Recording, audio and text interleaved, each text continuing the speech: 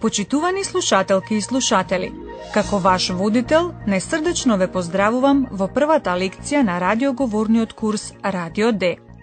Ми рекоа дека денес се уште не треба да ви кажам каде ќе се одвиваат действата во овој курс и со кои ликови ќе се запознаете во нив. Зошто? Затоа што во денешната лекција прво сакаме да ви покажеме дека можете многу да разберете и без да го познавате германскиот јазик. Како е тоа можно? Многу едноставно. Обрнете внимание само на звуците и на сликите што се создаваат при слушањето во вашата глава. Тие може би ќе се претворат во една мала приказна, но предлагам да почнеме веднаш со првата сцена –